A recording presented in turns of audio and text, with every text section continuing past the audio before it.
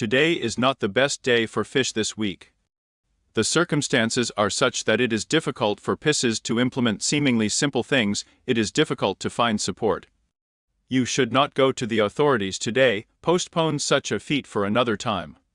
The circumstances of this day will remind you that your main defenders and assistants are close people relatives, only they will support you in any endeavors.